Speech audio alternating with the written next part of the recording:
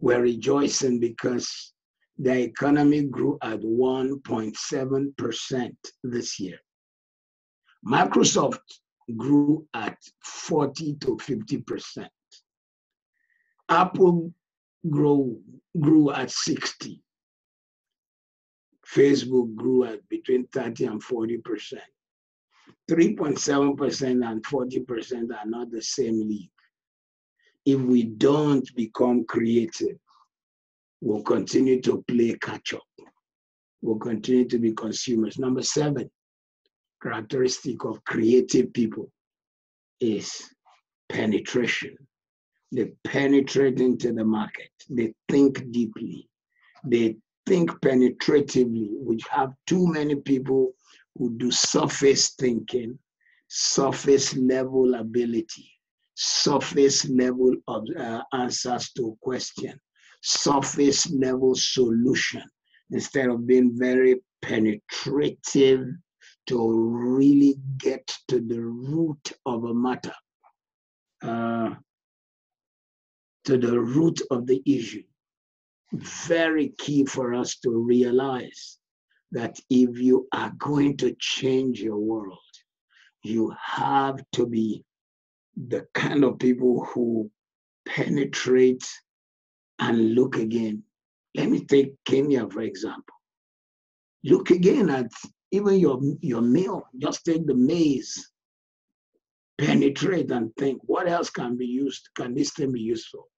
You know that many Kenyans don't even realize the world will not be able to survive without a good chunk of the maize that comes from Africa because while we eat it in our ugali, somebody is converting it to the gum and to the, to the adhesion material in the custard they sell to us, in the glue they sell to us, in the anything that has adhesion has some degree of African maize. But we see we see our maize, we see ugali. If you're Zimbabwean, you see sadza. If you're South African, you see pap.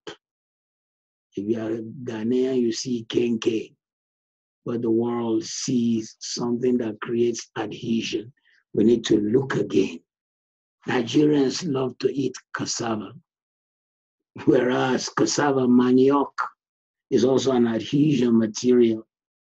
I'm actually being told that it is part of what makes the American dollar. Can you believe that? The American paper dollar has like 40% tapioca. Tapioca is gotten from cassava. So Nigerians look at cassava, they see food. America looks at cassava, it sees Benjamin Franklin. We need to penetrate. To bring my teaching to a conclusion, let me share a few more things with you. Observe new trends and track the new trends. Always know what's happening in your world. Begin to ask questions of how can I be creative to be part of this new trend? Kenya is being celebrated right now in Africa as gradually becoming the the Silicon Valley of Africa. Be part of that flow so you can bless the body of Christ, so you can impact your world. Number two, visit trade shows to see what is being done. Don't stay in your house. Visit trade shows so you can see the latest, the latest equipment, the latest gears. How did people think about it? How are people bringing solutions. Cars that are made today are almost totally intelligent. They do things that you can't imagine. The other day, a young man was driving me to church and the Range Rover. And uh, I was telling him to be careful not to hit the car in front. He said, Oh, we can't hit the car. I put it on cruise control and the car will make noise if it is too close to the car in front. I said, Oh, wow. That's nice. That is the world in which we're going to. That is the world we're going to. Then visit art galleries. Look at other people's creation. Look at how they design things, how they bring solutions, how they think. Then read classics, read what other people have written. Furthermore, volunteer. If you see a place where there's creativity, offer to work for free.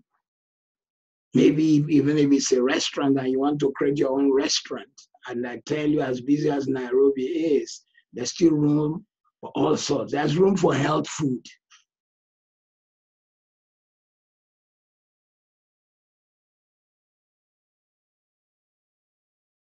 Look into the city. How about the shopping? How about the place in the heart of Nairobi that is just called just fresh fruits and smoothies? And if you apply this idea, make sure you send my tithe to me. I mean, just fresh fruits and smoothies. If I see that kind of a place, I'll go there every day. So I don't have to be the one cutting all the pineapples, all the mangoes, all the watermelons. You have cut it, you've created. And anything you do, you did it with presentation style, and there's a smoothie on the side to drink on top of it. I tell you, you will have too many customers. Then read magazines from different industries. You are surrounded by opportunities. Don't let them slip. If you see something in a magazine and it's not yours, maybe it's in the plane or somewhere you like it, bring out your phone, take photographs of the pages. I do that all the time. Don't tear people's magazine, just take photograph of the pages. There's some photographs of some people you call friends who are really your enemies that you don't need on your phone. Remove those ones and take photographs of these pages that will bless you. Then, uh, know yourself and your giftings. Maybe go online, look for how uh, various tests online that shows you how to test to know your own gifting and ability. Do not allow yourself to spend the rest of your life working in the area of just I just want to survive. I just want to survive. I just want to survive. and I just want salary. I just want food on my table. I just want clothes for my children. You need to be creative. You need to find your gifting. In fact, the day you find what your gifting is, you might just find that one or two ideas produced and marketed global, and you retire at 45. Next, notice new demands in the society because new cultures are coming up. Young people are not wearing what everybody's wearing anymore. If you have to sell supplements, look online for the companies abroad that sell supplements. Maybe that will be your own creative business. Then observe the new problems in your world. There are new problems. There are new problems of security. Uh, I know that uh, Kenya has the problem with one arm of Islam. Uh, I can't remember the name right now. Nigeria has Boko Haram, and there are different kinds. Christians, we always just like to just go around the house. It's great to speak in tongues, but I'd rather also, on top of my speaking in tongues, put cheap, simple uh, internet-based cameras around my house so that before you even approach, I've already seen you. A young man just designed a very simple concept that is connected to people's phone now called ring.com. So that anywhere you are on earth, if somebody presses the bell of your house, it rings on your phone. And straight away you can see them. If they're uninvited, you can tell them, What are you looking for in front of my house? Next, imagine the impossible. Because what you think was impossible today becomes possible tomorrow. In 1962 63, President uh, J.F. Kennedy, John Fitzgerald Kennedy, said, One day man will be on the moon. And not long after he said it, he was assassinated. And yes, one day, truly, 293, uh, 285,000 kilometers away, man was standing on the moon. It looked impossible. In fact, there are still people today who still have the theory that did they really go to the moon? Maybe they found a desert somewhere in Mauritania and we're bouncing on it. You know, anytime you achieve greatness, you will find some skeptics who cannot handle your your turning the impossible to possible. Imagine the impossible. Imagine a Kenya one day where you can achieve all your dreams. Imagine an Africa one day where the business you start will be all over the world. And please, it doesn't have to be in your field of learning. He was a lawyer in the United Kingdom in the beginning of the 19th century who came up with the concept of an underground train. The whole nation laughed at him, firstly because he's a lawyer. How can you imagine underground train, going underground? He came up with the idea, began the designs himself before he found those who would design it for him. And that's how the London Underground became the first in the world. And then other nations began to copy. You know, here in Britain, we started, the world copies. Uh, it was Brunel, another amazing engineer who rose in this United Kingdom, who came up with the concept of an underground road under the River Thames. It sounded stupid, unimaginable. How can roads be under a river as deep as the Thames? But today, we have no less than three tunnels through which we drive. Today is Saturday. I'm going to drive through one of them. Um, you have the Rotherhithe Tunnel, the Blackwall Tunnel, and the Dartford Tunnel, driving under the river. It was his concept that was now used. And now there is a driving under a body of the sea called the English Channels, the water between France and Britain. That's about 20 miles underwater.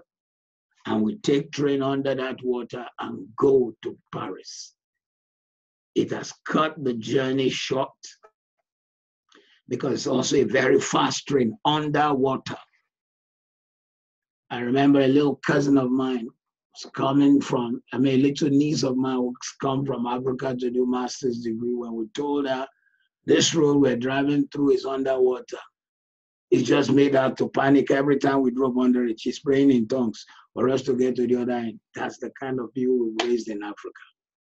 Let's be creative. Then form ideas with your friends. Don't always do things alone. Sit down with some people, banter together, sit together, come up with concepts together. And whatever you're coming together with, make sure you agree, you put it in writing, that you own it together so there is no argument and there's no fight in the future. So uh, there's so much I could share with you. Um, I could have shared with you a lot of ways to to release your creative skills. In my new book, actually, I have like 71 ways to release your creative skill. Let me share five and I'll stop. Number one, be a child again. Children have no limit in their thinking. My little grandson will imagine uh, some little mouse that came to his house and he chased out the mouse and the mouse ran to the house of his cousin uh, and the mouse jumped on the bed of his cousin. He does not realize that there are several uh, motorways between his own house and his cousin's house. How will this mouse cross all those motorways? That's my own adult mind thinking. But him, as a young person, he does not yet see those boundaries. He sees possibilities. We need to be like a child again to see the possibilities.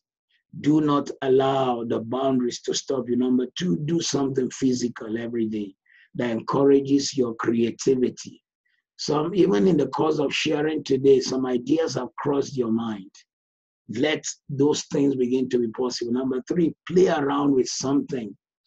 That's the reason in your children's nursery, they are giving them colorful things to play with called Lego. These kids are learning to build. They are finding that, okay, if, if the Lego they are building is tiny at the bottom, big at the top, it's going to crumble. So they are teaching them architecture without calling it architecture. You also do something with your hand. Stop being the kind who you just wake up in the morning, rush to work, come back home, have some food, watch television, go to bed, wake up in the morning, rush to work, come back home, have some food, watch television, go to bed. Get out of that lifestyle. Then sign up to learn something new. Sign up to learn something new. If Kenya is going to be the Silicon Valley of Africa, as it's been announced, right, as it's been bantered around right now, you also go learn something new. Learn how to write apps. There's several, several, several apps nobody has created.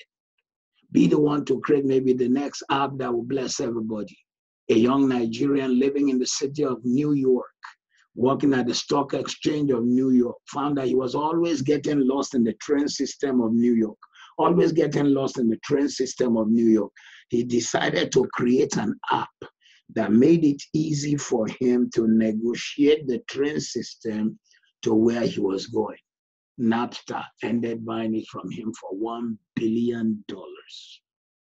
The telephone in your hand, a Nigerian young man here in the city of London found that uh, he could never know when his brother calls. So he created a system for knowing when his brother calls. He became the first to create a ringtone, Alexander Amosu. And today, ringtone became a big thing in the world. He was 24 and a broke man when he created the ringtone system. By the time he was 25, he was a millionaire. Number five, create the enabling environment. Have a creativity place around you. Find a journal where you write. You want to write books about children? Write create stories. Don't try to bring adult thinking into everything you do. When I was writing my book, I, I even told how easy it is to write stories about that children will enjoy. As I was my house overlooks a lagoon in Nigeria.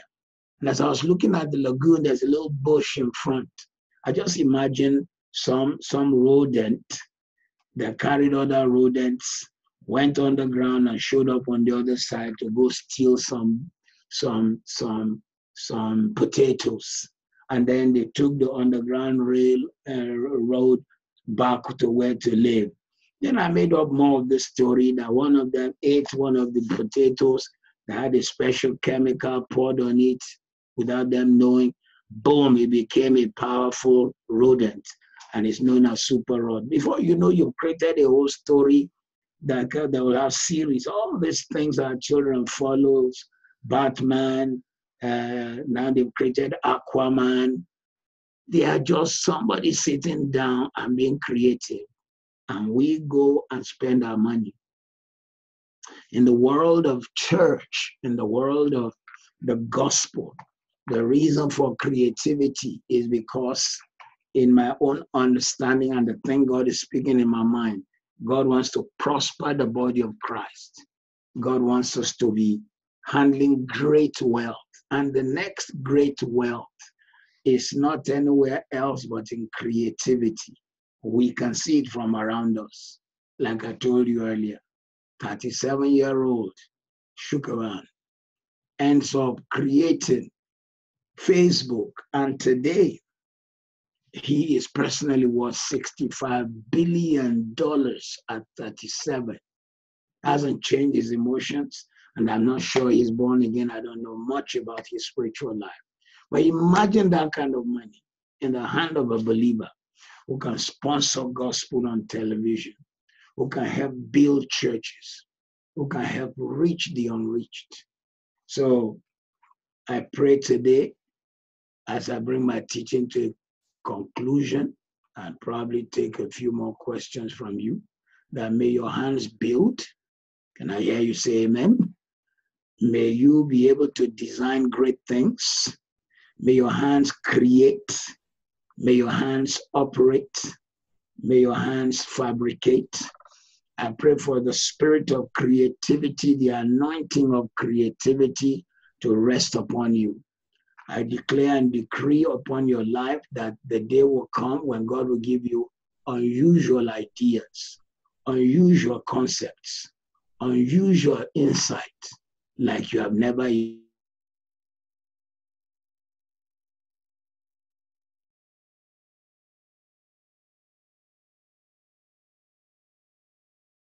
the world will see the greatness of God on your life, and the blessing of the Lord will rest on your life. You will never, never be the same, but rather you will be the best that is ever been. You will bless your generation. You will touch your generations. You will impact your world in the name of Jesus. Let me close with this scripture Exodus 35, verse 30 to 35. Exodus 35, verse 30 to 35. And in reading this passage, I'll be reading it from the message translation, not King James. Message translation. Moses told the Israelites, See, God has selected Bezalel, son of Uri, the son of Hur, of the tribe of Judah. He's filled him with the Spirit of God, with skill, with ability, and know how for making all sorts of things to design and work in gold, in silver, and bronze, to carve stones and set them, to carve wood, working in every kind of skilled craft. And he's also made him a teacher. He and Oholiab, son of Ahisamach of the tribe of Dan. He has gifted them with the know how needed for carving, for designing, for weaving and embroidering in blue, purple, and scarlet fabrics and in fine linen they can make anything and design anything. I like that last statement. They can make anything and design anything. I like to read it one more time. They can make anything and design anything. As you have encountered my ministry this morning, may the grace to make, to design, to create, to invent, to achieve, to make happen rest upon your life. May you bless your generation. And then not just you alone, may your children be blessed. May this grace rest on your family. May God distinguish you and give you uncommon testimony in Jesus' name. Amen. God bless you.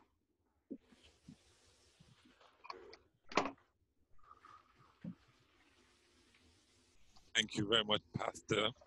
I mean, it's amazing that pastor add life to, to his book. His book is amazing. Pastor, um, how, many, how many minutes do you you, sir, in terms of questions?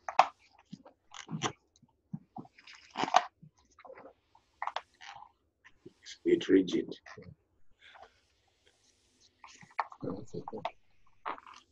That's about it. We can hear them. Can you hear them? It's not working well. It's not working well. Alison needs to turn around. All right, cool. Can Alright, we're talking to Thank you, Pastor.